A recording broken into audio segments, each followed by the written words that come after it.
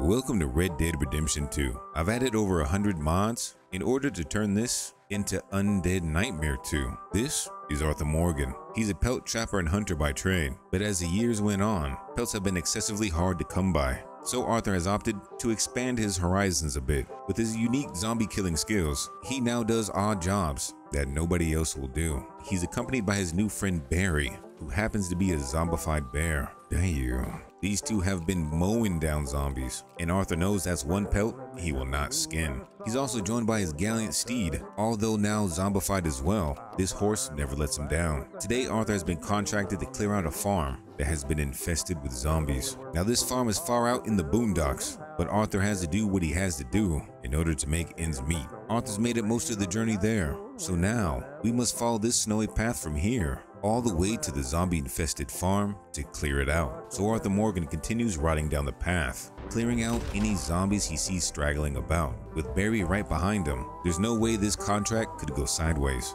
or at least hopefully not. The farther up north we go though, the deeper the snow and the colder the weather. I think it's a good thing the horse is now a zombie, because now it can't feel a thing. Arthur Morgan finally makes it to the outskirts of the farm, and is quickly surrounded by a horde of zombies that dashed in from the woods. Damn, ain't no problem for Arthur though. He took out the machete and started making zombie steaks. Damn, that actually sounds kinda good. Barry had his back as always, but as you know, these zombies like to hit Arthur Morgan from the back. Damn. Barry was going to Pound Town, and with a couple quick shots, that small pack of zombies was dealt with. Now we had to clear out the farm. From the outside, it didn't look like there were too many zombies to handle, which was good. Arthur was trying to get out the snow as soon as possible, so it was time to pounce. Arthur Morgan hopped on his horse and came in blazing with some headshots using the shiny Bugatti.